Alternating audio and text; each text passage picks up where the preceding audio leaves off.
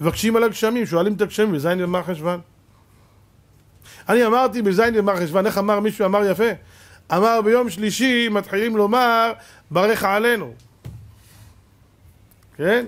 אני אמרתי ככה, ברך עלינו. ברך עלינו זה משיב הרוח ומוריד הגשם.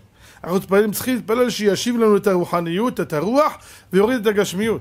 ישיב את הרוח ויוריד את הגשם. ישיב לנו ממשלה עם רוח של תורה, ויוריד כל אלה הגשמיים האלה שרוצים לעקור תורה.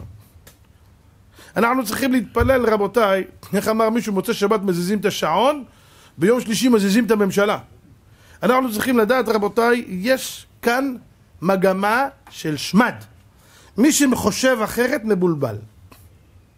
שומע אנשים מדברים שטויות, אנשים מדברים הבלים. שמע, שהיום הייתי בברית, אחד יושב עם זקן כמו של מתושלח. נראה כאילו איזה תנא דבי אליהו. אבל כשהתחיל לדבר הבנתי שזה ירחם השם ישמור ויציל ואיזה שטויות יוצא מהפה שלו. הוא משכנע אנשים לא להצביע. אמרתי לו, תגיד לי, מה אתה מדבר שם? אתה לא יודע? יש ממשלת הצללים. שהוא בדק ממשלת הצללים. אומר לי, מעל הממשלה יש ממשלת צללים, הם שולטים על הכל. סדר עולמי חדש. וכל ההצבעה לא, לא קובעת כלום, כי במילא הם מחליטים מי ימשול ומה יהיה.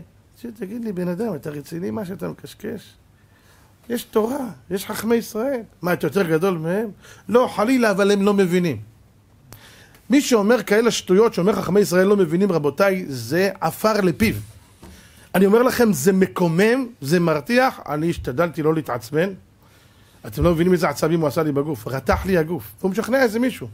לקחתי את הבחור שקראו לצד, למה ראיתי אותו, הבן שלי אומר לי, הוא אמר לו כל הזמן, תשמע, ואל תשים לב אליו. הוא אומר לו, עליי. אמרתי לו, תגיד, כל חכמי ישראל נראים בעיניך כשוטים? חלילה. חלילה מלילה. כולם אומרים, כולם יוצאים. הרב גרשון אדלשטיין, השם ישמור אותו, גדול הדור היום אצל האשכנזים. תלמיד חכם עצום, גדול הדור, צדיק יסוד עולם. הוא בוכה, הוא אומר, הלוואי והייתי צעיר. הוא למעלה מ-90 שנה שיהיה בריא. שיהיה בריא. אומר, הייתי, אם היה לי כוח והייתי צעיר, הייתי עובר דלת דלת לדפוק, לבכות לאנשים, שיבינו שתורה בסכנה.